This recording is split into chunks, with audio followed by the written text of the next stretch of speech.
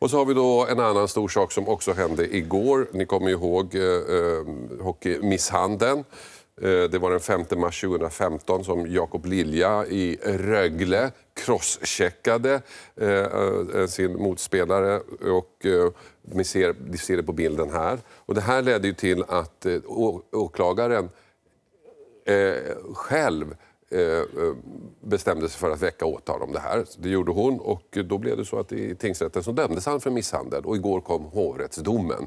Eh, alla såg ju fram emot det här för det här är ju ändå en principiellt intressant sak och det blev också fastställt domen igår. Och jag tycker vi ska titta på vad det som hände egentligen och vad är det den här misshandeln, vad, vad hände helt enkelt? Mm. Vad säger vi där?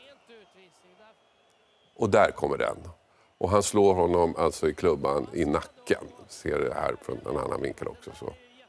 Hur gick det för spelaren som åkte på smällen? Ja, han klarade sig ganska bra. Han har inte anmält det här. Och han, han, han har också sagt att han tycker att det straff som han fick, nämligen avstängning och så, tyckte han räckte för den här situationen. Men det tyckte alltså inte åklagaren. Han straffas alltså först av ligan ja. Eh, och disciplinnämnden och sen också i en eh, domstol. Just precis. Ja. Och, vi har ju pratat om det här förut när det blev aktuellt. Då hade vi med oss eh, Sanny Lindström, hockeyexpert. Sanny, du är med fort igen. Vad säger ja. du? Vad är din eh, reaktion till den här domen?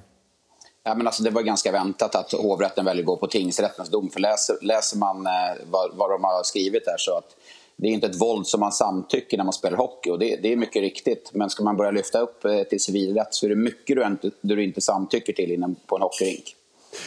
Läste din krönika igår, eh, Sanni, där du formulerar mm. tankar kring det här och hur man ska gå vidare och prata om det, vilket vi ska göra med den du riktar de här tankarna i. Om du skulle komprimera krönikan, vad är det du vill säga i det här ärendet? Vad ska vi anmäla vidare inte? Det här är en fråga för Björn Eriksson på eh, till exempel på Riksidrottsförbundet, ordförande där. Eh, det är inte meningen att staten ska ta hand om eh, fall, fall eh, alltså om det blir fler och fler anmälningar jag, jag, min bedömning är att staten har andra saker att ta tag i och mina skattepengar kan gå till andra saker. För att, som ni säger, tio matchers avstängning fick han inom hockeyn, vilket är ett hårt straff. Kännbart. Och också offret, och Jens Olsson, vilket är tydliggöra. Han har inte heller velat gå vidare med det här, som jag hörde Hasse sa.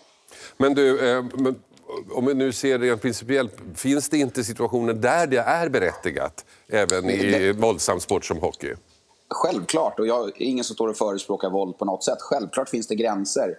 Men jag, har sett situationer som är långt mycket värre än den här mm. eh, på isen som inte har blivit anmälda. Var är gränsdragningen? Var, var ska vi dra den där gränsen i, i, framtiden? Och på vems initiativ kommer man kunna anmäla? Kommer det vara en ambitiös åklagare? Jag säger inte att det kommer vara så, men kommer det kunna vara en ambitiös åklagare som vill driva ett case eh, vidare?